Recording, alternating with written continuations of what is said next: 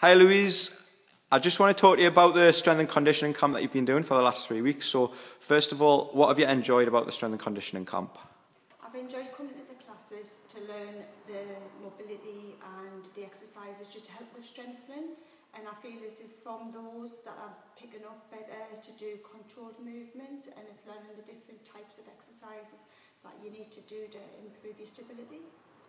Brilliant. So, what sort of things have you been doing with the mobility and of foam rolling, started off with that and been doing it in the class and at home, been doing using the resistance bands to control your legs, movements, how, how you can control and stop one leg going quicker than the other, been doing lots of lunges, squats, controlling those, um, planks, helping with hip flexors and just help strengthen your legs. Brilliant. Have you seen any improvements so far in the first three weeks? I have, yeah. I came to Luke's classes because I had been suffering from injuries. I'd tendonitis and shin splints and was really struggling running.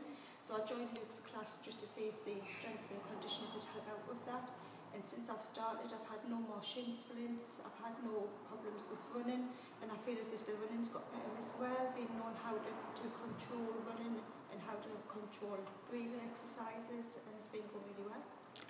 Brilliant. That's excellent. Um, finally, who would you recommend it to? I would recommend it to any other runners or anybody in the running community, but also other people who just want to improve their fitness and just control their exercises a bit better. That's brilliant. Thank you very much, Louise.